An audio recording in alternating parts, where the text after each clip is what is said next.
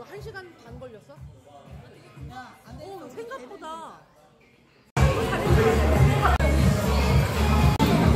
근데 일식집인데 스파게티도 팔고 되게 재밌다.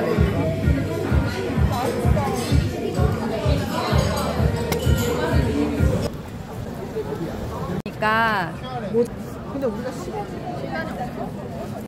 나는 오늘 4시 40분 4시까지 그럼 3시 야 줄 서고 있어.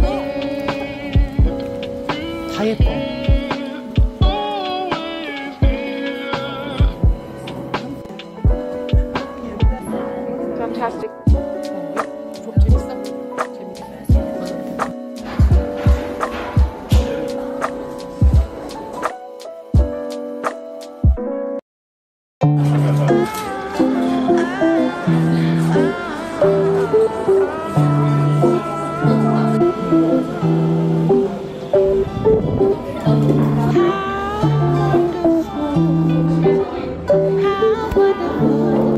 이쁘게 잘 나.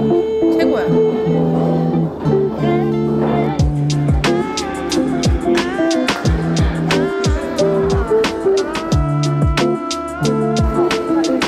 어, 너무 예쁘다.